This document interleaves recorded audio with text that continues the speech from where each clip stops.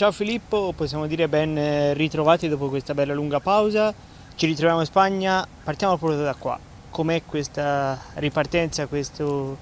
ritrovarsi dopo la sosta e rifarlo nel ritiro? Sì, è un momento molto, molto bello, molto sereno perché c'è modo di lavorare con tranquillità, senza la, la tensione, quella de, della partita della domenica. Eh, un ritiro molto affascinante, diverso dal solito perché capita in un periodo in cui non siamo neanche abituati, però a differenza del ritiro estivo abbiamo avuto pochi giorni liberi e quindi siamo arrivati già in ottime condizioni e c'è modo di lavorare con, con intensità e secondo me stiamo facendo un ottimo ritiro invernale e cercheremo di farci trovare al meglio poi per, per gli impegni ufficiali. Domani si torna praticamente subito in campo, avversario anche di livello perché c'è lo Stur Graz, formazione che ha fatto le coppe europee, poi ci sarà il Wolverhampton, due test che vi rimetteranno subito diciamo con l'asta bella dritta perché sono due squadre importanti, due test europei. Sì, assolutamente, sono due partite importanti, ci teniamo a fare molto bene perché eh, dobbiamo prepararci al meglio per il campionato e queste partite ci porteranno ad un giusto ritmo, ad una giusta intensità per eh, farci trovare ponti poi a gennaio. E già da domani cercheremo di affrontare la partita nel migliore dei modi come fosse una partita di campionato, così che anche a livello mentale sia già una gara, di, eh, una gara importante che, che poi ci porti nelle giuste condizioni a gennaio.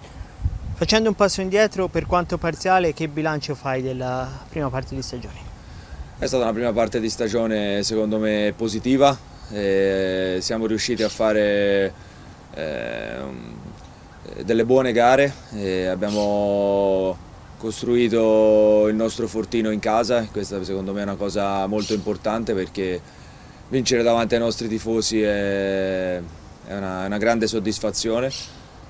Stiamo, stiamo lavorando sui su nostri difetti, su, su quello che abbiamo fatto meno bene in questa prima parte di stagione e quindi in questo periodo lo dobbiamo sfruttare al massimo per eh, eh, capire quello che abbiamo sbagliato, correggerlo col mister e cercare poi di, di fare una seconda parte di gara ancora meglio della, della prima.